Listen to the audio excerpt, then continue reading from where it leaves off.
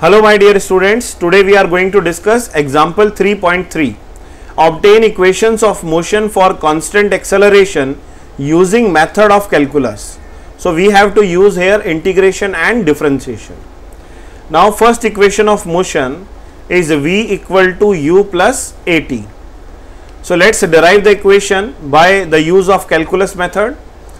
देखिए as we know जैसा कि हम जानते हैं formula of acceleration is dv by dt. Formula of acceleration is dv by dt. Now we can write it as dv is equal to a dt. We are deriving this equation for constant acceleration. Here the acceleration is constant. So dv is equal to a dt. Now integrate both sides. Integrate both sides we get. So, when you are going to integrate it dv is equal to a dt. So, देखिए यहाँ पर dv का integration करेंगे।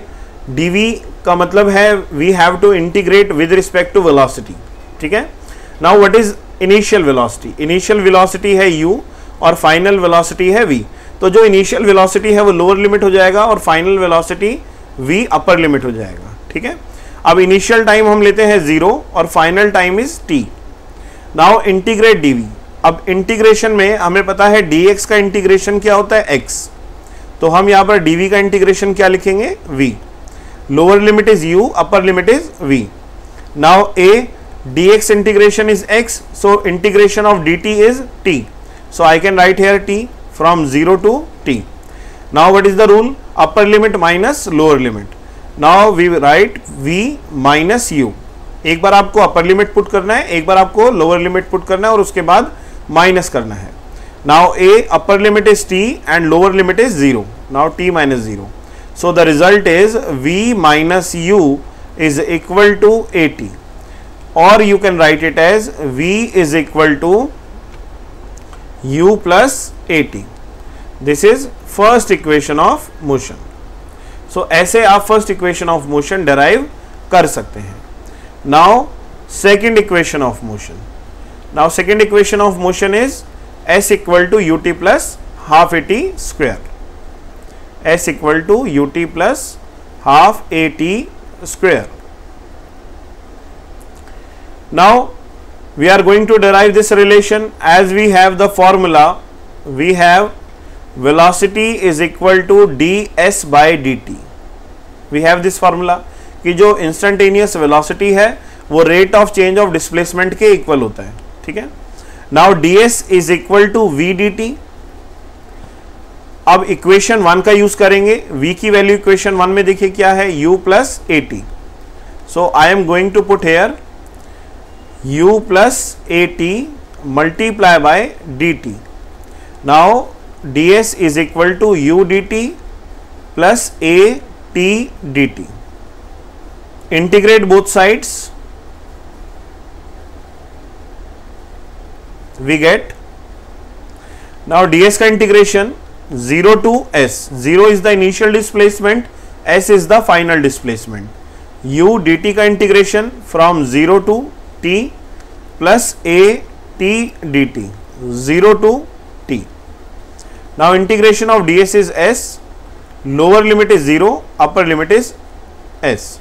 Now u dt का integration t हो जाएगा 0 to t plus a. इसमें formula क्या होता है? जो भी पावर है उसमें आपने वन ऐड करना है t one plus one that is two divided by one plus one that is two ये हमने फॉर्मूला यूज़ किया। Which formula x to the power d dx का formula that is x n plus one upon में n plus one This is the formula of integration of x to the power n. Now, s minus 0 u t minus 0 plus half a t square limit is 0 to t minus 0 square. So, second equation of motion is s equal to ut plus half a t square. This is second equation of kinematics or second equation of motion is it clear now we are going to derive third equation of motion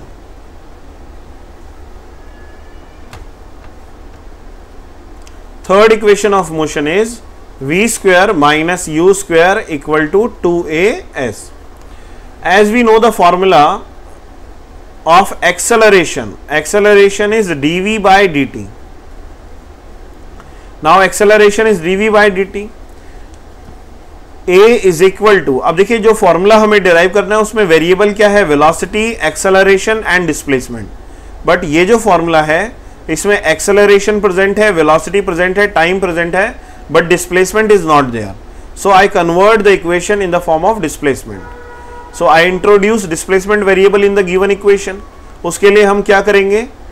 Ds से multiply और ds से divide ठीक है?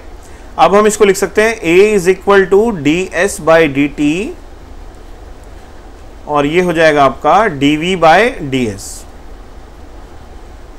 now a is equal to what is d s by d t that is velocity v dv by a d s is equal to v d v Now integrate both sides.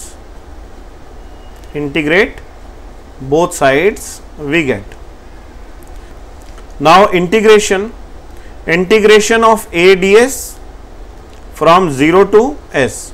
Initial displacement is 0 and final displacement is s. Now integration of v dv from initial velocity to final velocity.